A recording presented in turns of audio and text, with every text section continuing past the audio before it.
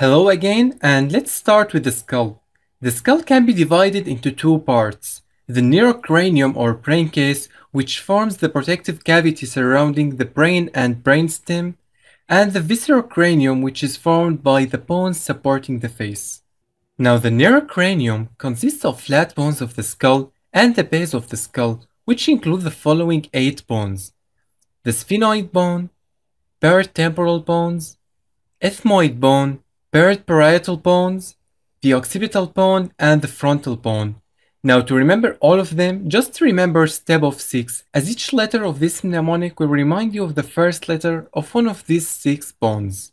Now the viscerocranium, which consists of bones of the face that develop from the pharyngeal arches in embryologic development, including the following 14 bones. The mandible, the vomer, paired lacrimal bones, paired nasal bones, paired palatine bones, paired inferior conchae bones, paired maxillary bones, and paired zygomatic bones. Now to remember them, just remember that Virgil cannot make my bed zebra laugh, so now try to remember them with me. V was for vomer, conchae, nasal, maxilla and mandible, palatine, zygomatic, and lacrimal. You see, now it's so much easier and faster to remember all of them in less than a minute, right? Now let's move on to the foramina of the skull. But first, we need to remember some points. The floor of the cranial cavity can be divided into an anterior cranial fossa, a middle cranial fossa, and a posterior cranial fossa, all of which contain foramina and fissures through which blood vessels and cranial nerves are transmitted. Now we also need a quick revision of two cranial nerves.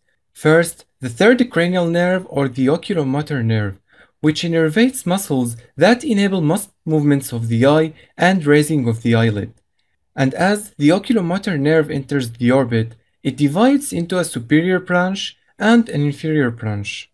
Now the fifth cranial nerve or trigeminal nerve is a nerve responsible for sensation in the face and motor functions such as biting and chewing.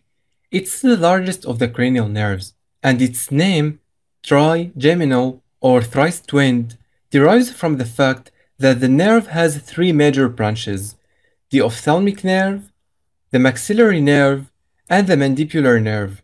Now the ophthalmic nerve itself has three branches which are the nasociliary nerve, lacrimal nerve, and frontal nerve.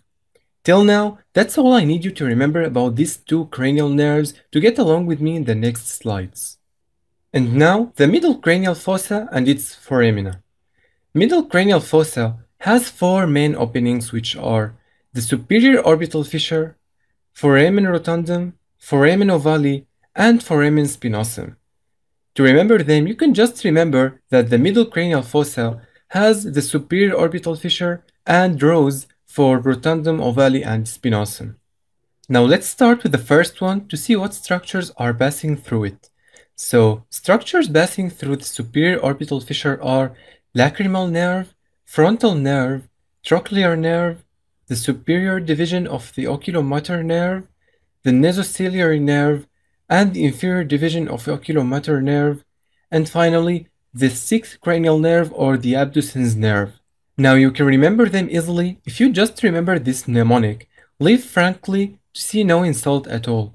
Now again, try to remember them with me lacrimal, frontal, trochlear, superior division of the oculomotor nerve, nasociliary, the inferior division of oculomotor nerve, and the abducens nerve. So now we've talked about structures passing through the superior orbital fissure. The next foramen in the middle cranial fossa is the foramen rotundum, which transmits the maxillary nerve branch of the trigeminal nerve. Anyway, we'll have a mnemonic about that in cranial nerves lectures in the next section.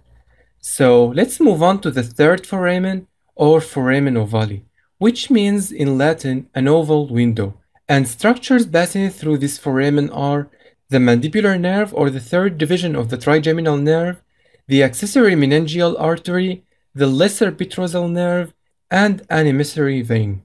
And to remember these structures, you don't need other than the word ovale itself, as first O for otic ganglion, which is a small parasympathetic ganglion located immediately below the foramen ovale.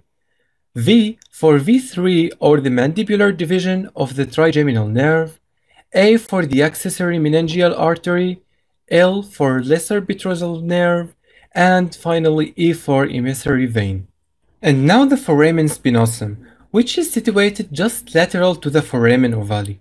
And the following structures are passing through this foramen, the middle meningeal artery and the middle meningeal vein, the meningeal branch of the mandibular nerve or the nervus spinosus, which is a branch of the mandibular nerve that supplies the dura mater, and an emissary vein.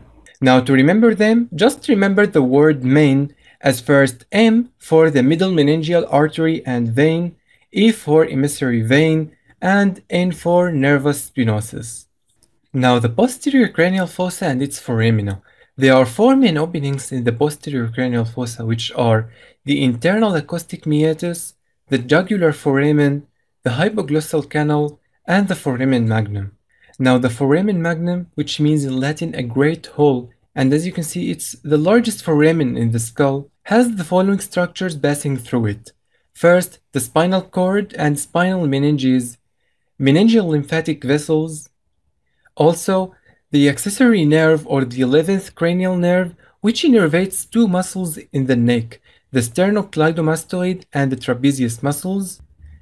Also, there are the two vertebral arteries, and the sympathetic plexus of the vertebral arteries and the spinal branches of the vertebral arteries. So to remember them, just remember that spinal meninges make a special vertical sheath as first S for spinal cord, spinal meninges, and meningeal lymphatics, then the accessory nerves, then the sympathetic plexus of vertebral arteries, the vertebral arteries, and the spinal branches of these vertebral arteries. And finally, the orbit, which is the cavity where the eye and its appendages are situated. Now, the maxillary bone, lacrimal bone, ethmoid bone, along with a small part of the body of the sphenoid bone, form the medial wall of the orbital canal, which is, by the way, the thinnest wall of the orbit. So, to remember these bones, just remember this amazing mnemonic. My little eye sits in the orbit. So, maxilla, lacrimal, ethmoid, and a part of the sphenoid bone. Now I hope previous mnemonics were helpful for you, and skull anatomy is much easier to remember by now. For any questions, please don't hesitate to ask them in the discussion forum, and see you in the next lecture.